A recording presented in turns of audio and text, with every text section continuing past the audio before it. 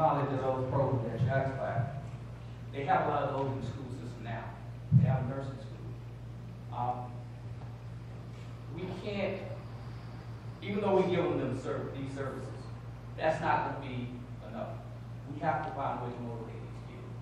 We gotta find a way to pique their interest. Um, like you're saying, you have different learning styles.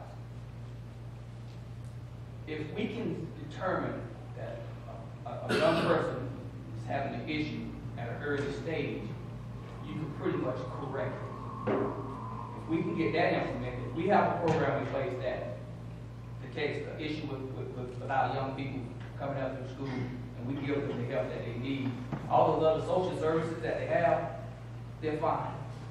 They're fine, they're needed, because these kids have problems like all the rest of us, and they need, they need someone they, they can talk to, services.